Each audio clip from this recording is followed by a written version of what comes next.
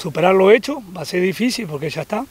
Eh, viene un nuevo desafío con categorías juveniles de vuelta, con la más chica, que eso es doble complicación, ya que de vuelta había que formar tres categorías, su 14, su 15 y su 16, en la cual hicimos una, una captación de unos dos meses y hoy por hoy largamos ya la pretemporada con prácticamente tres equipos nuevos y y en cuatro semanas tenemos que ya para un equipo en cancha y en mediados de marzo ya tenemos que estar a competir. Quiero preguntarte puntualmente y específicamente por las categorías superiores, ¿quiénes traen a cargo?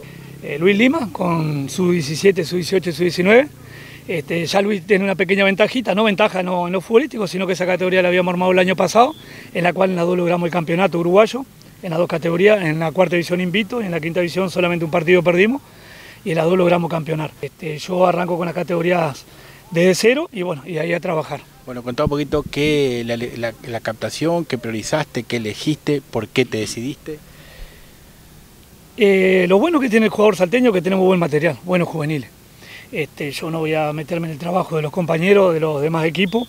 Eh, elegimos lo mejor que teníamos, elegimos lo mejor que vinieron, elegimos los que querían estar acá y elegimos lo que quieren un cambio eh, radical en lo futbolístico. Buscar una nueva una nueva tentativa en el fútbol profesional, buscar un nuevo horizonte y nosotros lo acompañamos. ¿Qué cantidad de jugadores tenés hoy? Y hoy en su 16, que es la más completa, tenemos unos 26 jugadores. En su 15 andamos los 20 y su 14 la que estamos un poquito más, más complicado, unos 18 jugadores. ¿Cuánto necesitarías para la competencia?